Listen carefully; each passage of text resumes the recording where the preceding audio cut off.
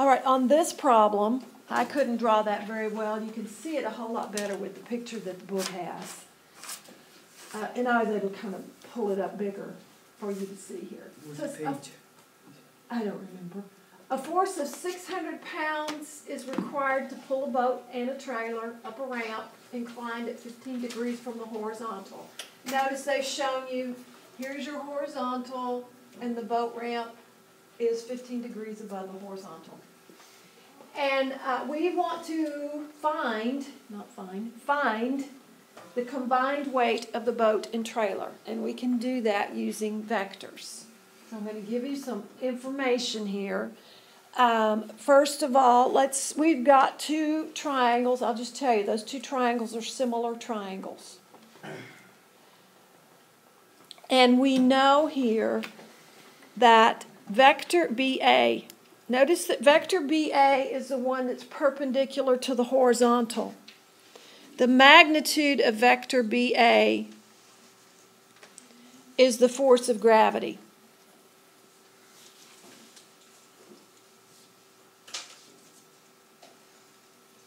Now, if you if there are some physics people in here, you may be able to explain this better than I can. But 9.8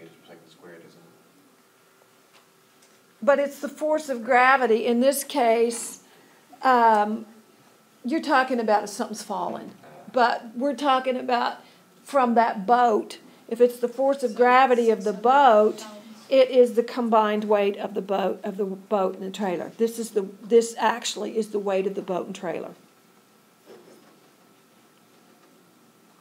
But you're right. If you have if you drop something, uh, acceleration due to gravity is negative 32 feet per second or 9 9.8 meters per second. This is the weight of the boat and trailer. In this particular case with this vector, because that's the force of gravity on it. That's how much is pulling down. So is BA like a line? It's a vector. to the ground? It's perpendicular to the horizontal. Yes. Wait, I thought BC was perpendicular to the. No, BA is perpendicular to the horizontal. BC is perpendicular to the ramp. Oh.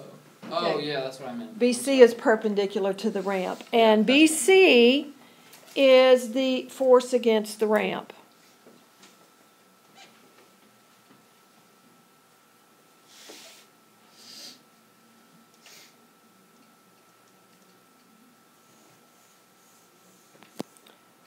And ray or uh, vector AC is the force required to move the boat.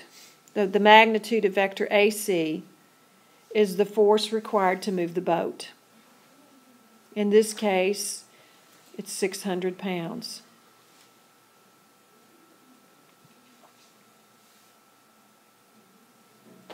So in this case, that force we're told is 600 pounds. Now we have two similar triangles. If we know that this is 15 degrees here, then that tells us that if these are similar triangles, this is going to be 15 degrees as well.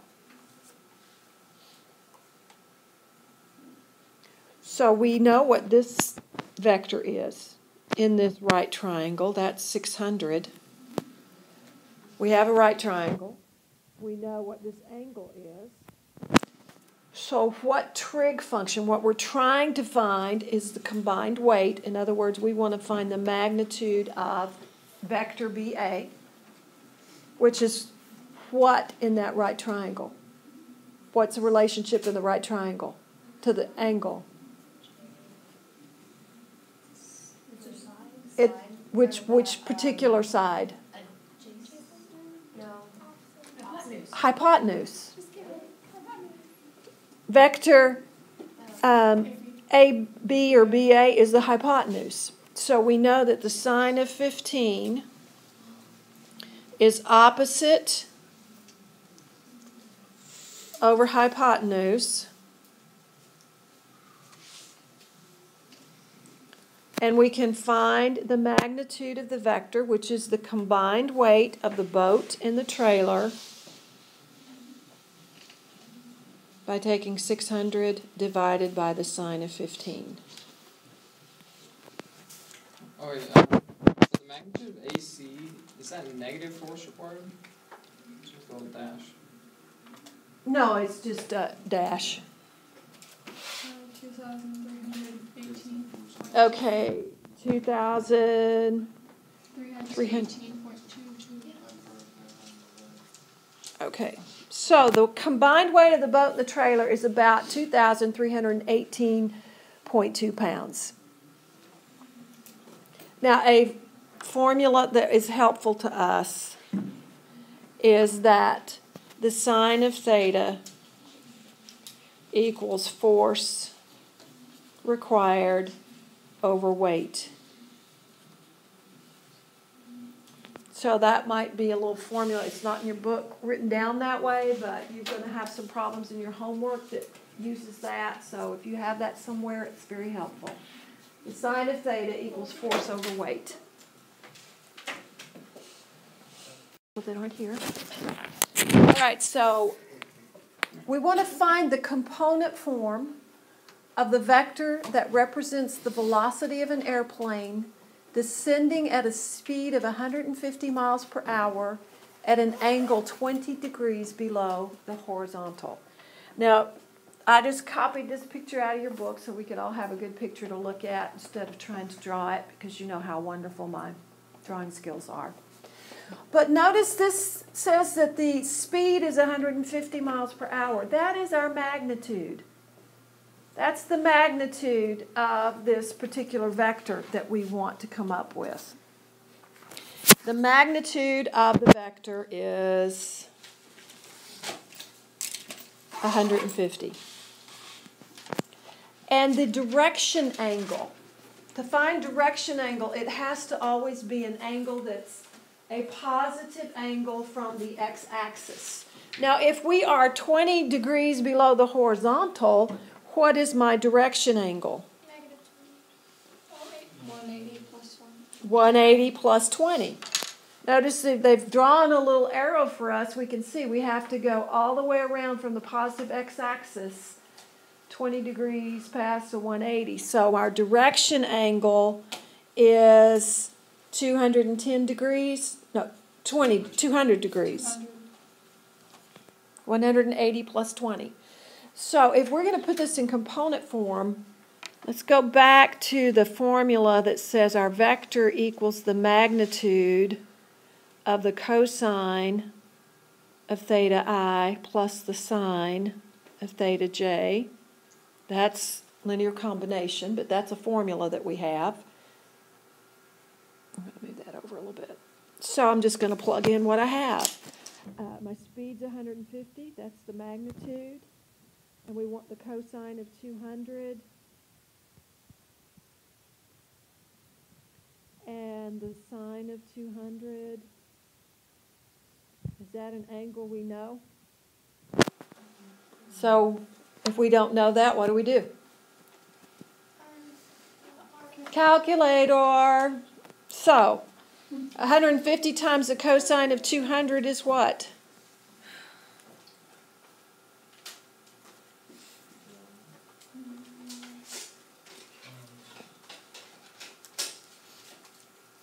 Negative forty point nine five. Negative 140.95. And 150 times the sine of 200.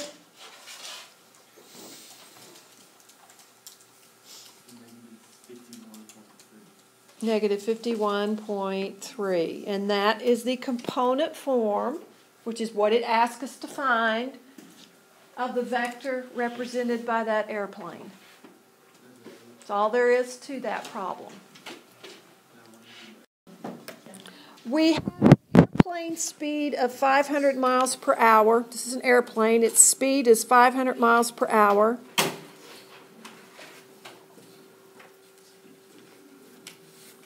Uh, it's flying on a bearing of 330 degrees with negligible uh, wind velocity. At a particular point, the plane encounters wind velocity of 70 miles per hour uh, from north 45 degrees east. We want the resultant speed and direction of the airplane.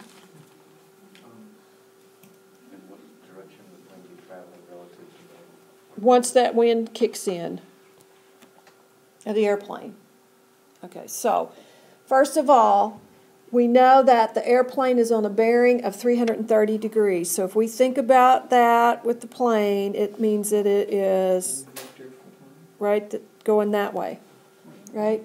Bearing of 330 degrees. wouldn't it be in? Bearing is always from north. Ah, Bearing is always from north. But our direction angle has to be where? wait, wouldn't it be on the other side then? 330 degrees from north, 360 degrees would have you back to north again. You go right, just went the other way around. you go right from north, not left. Always go, yeah. All right, so, but the direction angle has to be from the positive x axis. So what's our direction angle going to be?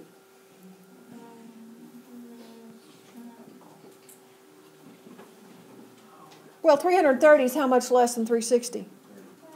So 90 plus 30 is 120. Our direction angle is 120 degrees. So if we want to put the vector for the airplane in, if we want to write that as a vector, we know the speed is 500 times the cosine of 120.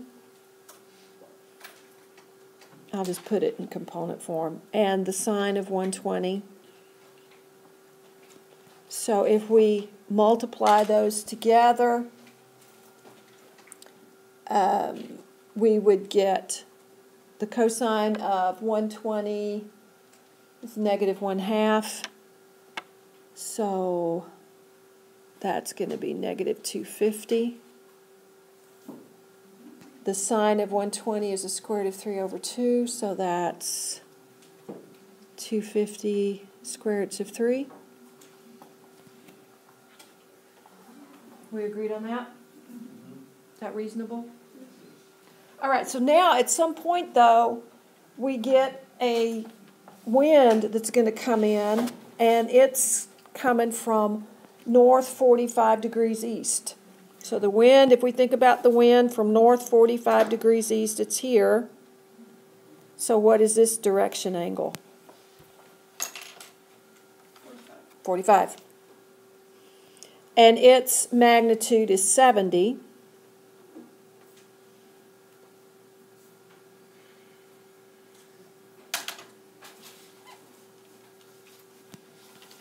And so if we multiply through, we get 70 times the cosine of 45, 35 square roots of 2.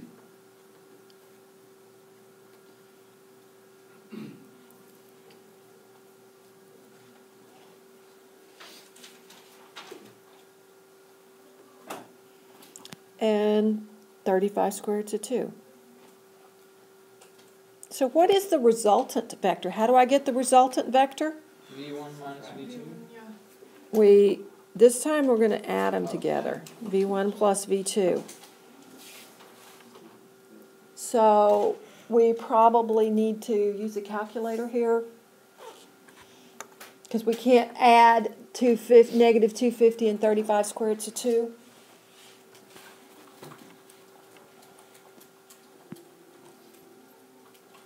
So B one and B two. V1 plus V2. We add the A parts together and then add the B parts together. Where is B one? Right here. Okay.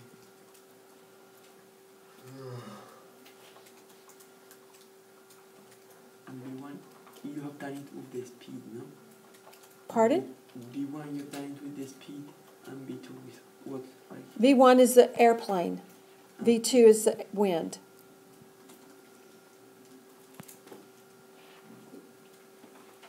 Are these correct? Everybody? All right, so what did the problem ask me to find? How do I find the speed? Magnitude of your The magnitude of V1 plus V2. Aren't you glad you have calculators? kind So the magnitude is going to be the square root of negative two hundred point five squared plus four eighty-two point five squared. And that is, anybody got it yet?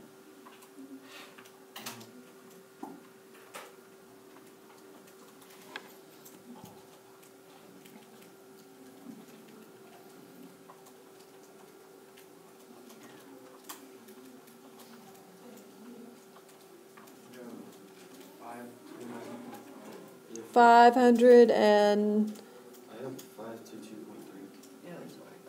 okay. I have five two two point five. It depends on where you rounded. Okay, I might have put the actual numbers in when I did it.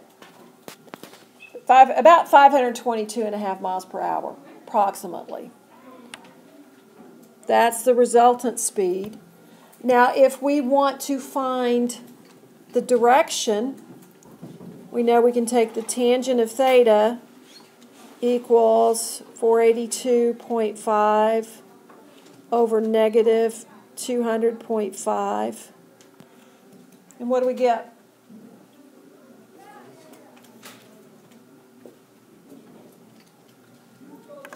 Two one four one. I think it was positive. Oh, sixty-seven. We should get a negative 67.434. Now, 67.434 is our reference angle. What quadrant would that resultant vector be in? Negative sixty-seven Quadrant 2. that? That resultant vector would be in quadrant 2, but this is quadrant 4, so how do I get the direction angle? Add on on 180. Add 180. We add 180 because this is a quadrant 4 angle, so if we add 180 to that, It's hundred and twelve point one six six. How do you know that this is in quadrant two? What do you want us how do we know it's in quadrant 2? Tyler? Uh, I was gonna ask, I got that like positive, sixty-seven point four. Did you have this negative right here? You didn't put your negative in. Yeah, I don't, I don't understand how you got negative sixty-seven point one. Yeah. Okay, because your tangent, the value of the tangent's negative. Oh, Calculators, Arctan? arctan. Oh, I just. That's gonna give you a negative angle.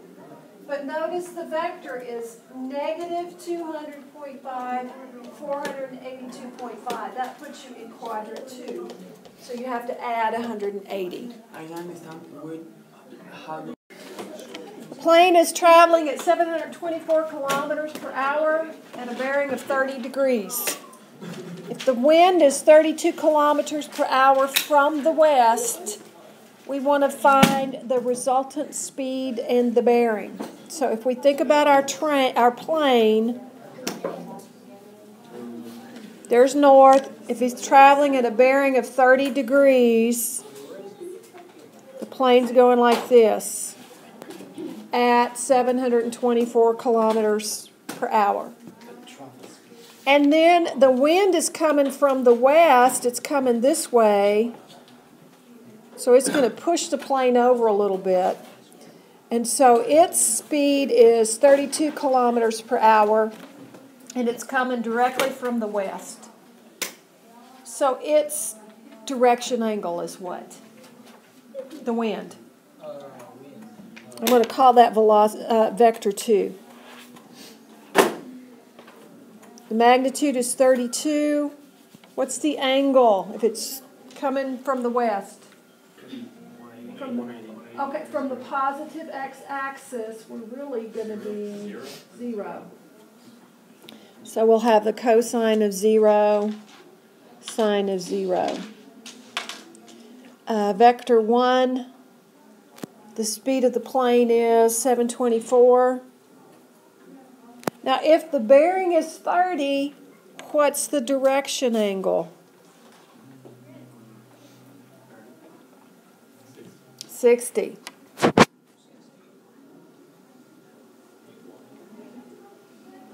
So I'm putting this in component form. So the cosine of 60 is Um, one one half, so this is going to become 362. And the sine of 60 is square root of 3 over 2, so we'll have 362 square roots of 3. That's our airplane vector. Our wind vector. What's the cosine of 0?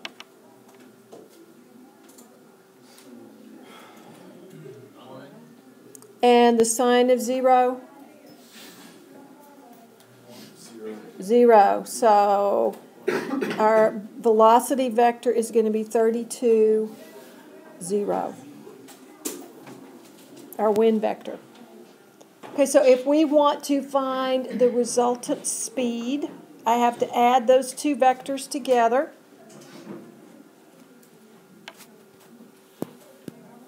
So vector 1 plus vector 2 Three hundred and sixty.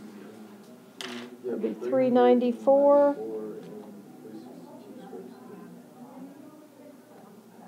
Okay, so that's the vector. How do I get the speed? Tangent of. No, the speed. Oh, the magnitude. Magnitude. The magnitude of the resultant vector is the speed, and that's going to be. You can use your calculators.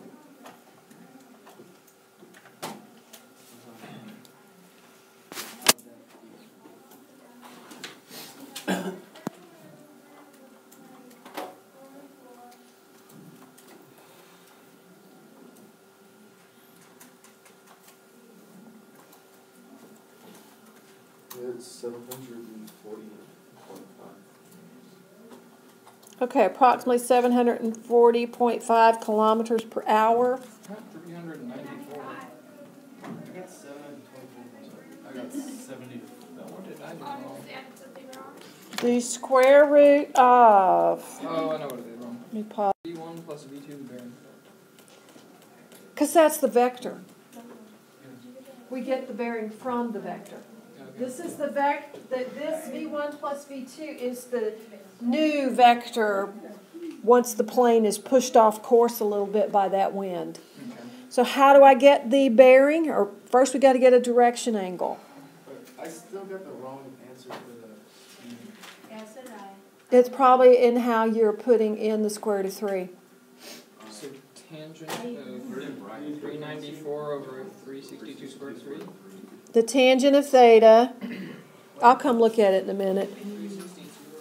The tangent of theta equals 362 square roots of 3 over 394, which is what? Um,